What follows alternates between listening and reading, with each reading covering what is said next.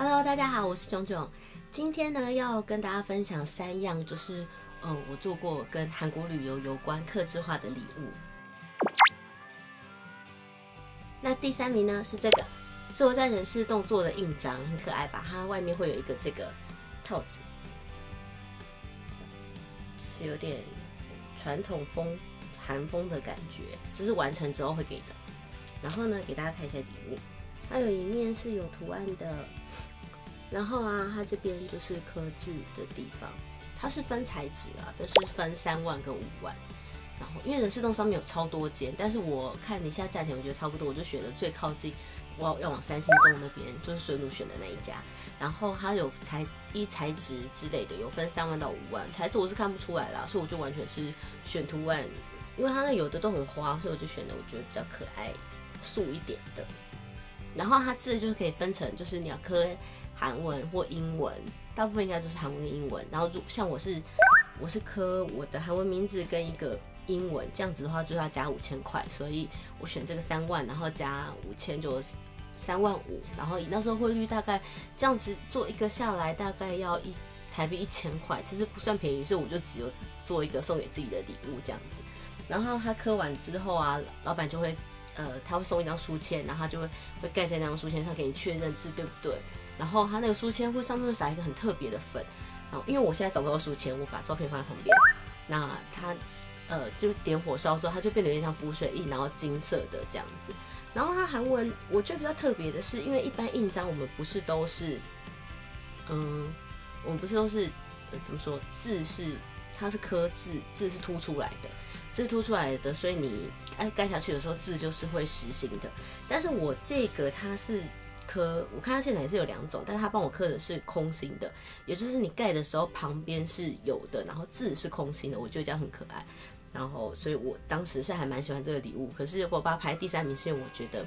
它实用性就比较没有那么高，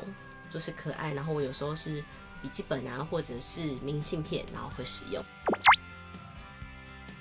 第二名呢是这个，佳佳，这个应该很多人都有在网络上看过，它就是行李飘带。然后我是在梨泰院做的，是二零一四年做的吧。我那时候一次。因为这个我觉得还算蛮划算的，所以我一次做了好几条，就是送给我朋友这样子。那我自己是有做一条是这种的，你看它是有一个扣环，然后可以扣在就是把手上面，不管是上面的把手或是侧边的把手都可以。然后上面就是有我的名字。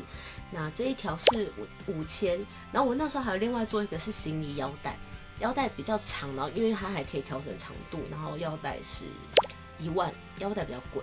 但是我觉得腰带还算，其实这两个都还蛮实用的啦。那就是因为你行李有时候长得跟它很像不好认，但是有多加这个之后，就马上可以认出自己的行李。那腰带它在功能性上有多了一个功能，就是如果你怕你买太多东西，塞太多东西要呃行李箱炸开的话，腰带是多一个保护。可是呢，为什么我现在手上有这个？就是我当时就是买完，然后我回国的时候我就很兴奋，就两个都放，两个都别上去，结果。我回国的时候不知道为什么，就是行李腰带就就不见了，所以我现在就是没有行李腰带。那我下次如果再有机会再去首尔自由行的话，我可能会去底泰院再做一个，因为我觉得行李腰带真的，呃，还蛮不错的啦。那这个它其实是呃我在梨泰院的那一间做，然后我会把我去的路线，然后跟店名那些资讯的那篇文章，我会放在下面的资料栏，那大家想去就可以看那个上面我有拍路线，还蛮清楚的。那它其实做的时候，就是除了先选你要的种类，因为它不止这这种哦，就是我做的这两种，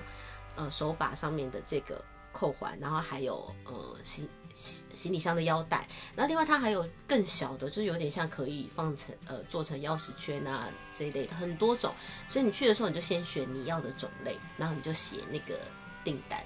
然后上面就写你要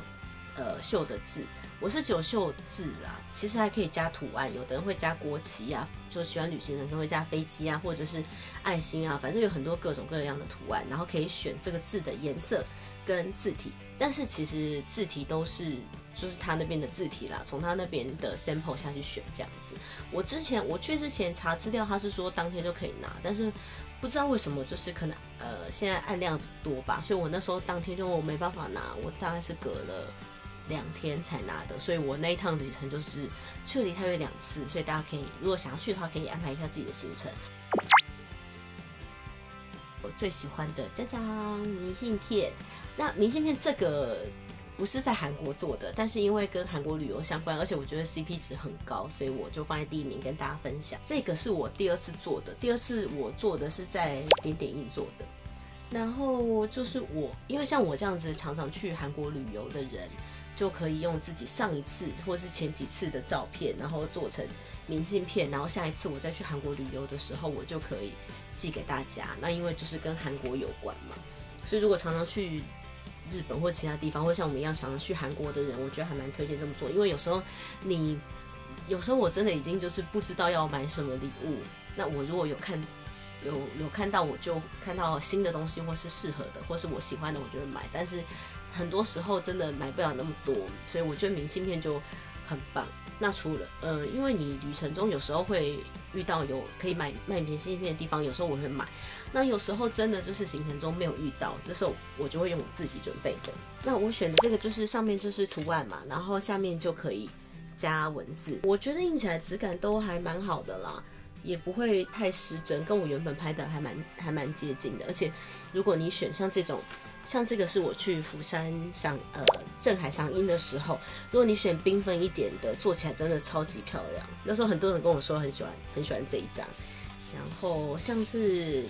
甘川洞啊这种很缤纷的，做起来也蛮漂亮的。然后还有我去这个应该是蔚山吧，就是十里竹林，去十里竹林的时候，然后绿绿的，可是因为我们那时候撑橘色的伞，所以我觉得看起来还蛮蛮有意境的。这样，这是我第二次做的，在点点印，然后这是我第一次做的，是在印布馆做的，因为我那时候也有分享过，我就是从第一次从韩国旅游回来的时候，我在印布馆有做一本那个相片集，然后我也顺便做了明信片。那我觉得，呃，它，呃，它的版型是，就是我，哎，放好像十二张吧，但是它每一张都可以不一样，就是很多版型可以选。但是我觉得它的纸质比较，嗯，点点印比较，其实它们摸起来都是纸，可是我觉得看起来点点印比较像相片的质感，但是印不完比较像明信片的质感。那有呃不一样的地方，就是在于它有很多不同的版型可以选。然后背面其实背面其实大同小异啦，就是它都会先分好线，然后你在写的时候就很方便，就是地址跟日期就可以分开写。那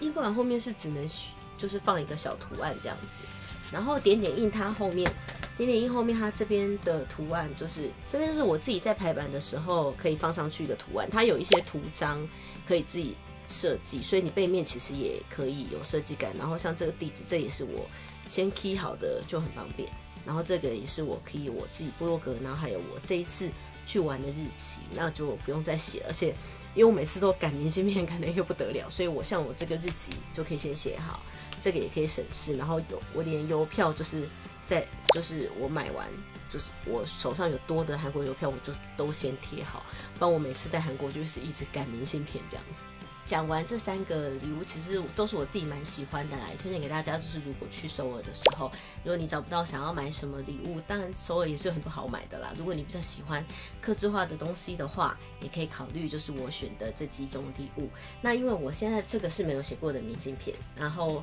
我现在还有几张啦，想说可以送给大家。那我会送就是两张一组。然后是没有写过的哦，就是你去韩国玩的时候可以写。那你就是在这个 FB 下面动态留言，然后呃写说你想要索取这个明信片，然后或者是这三个礼物里面你最喜欢哪一种礼物，那我就会送就是一次，我会把它选两张不同的做了一组，然后抽三位粉丝送给你们。那你们去韩国旅游的时候就可以使用这个明信片。那最后呢，娜娜跟九九之后也会继续在我们的频道娜娜九九一起玩，分享很多韩国旅游的资讯。那大家如果有什么好奇或想要知道的事情，也可以留言给我们，我们会拍成影片。最后不要忘记订阅我们的频道哦，拜拜。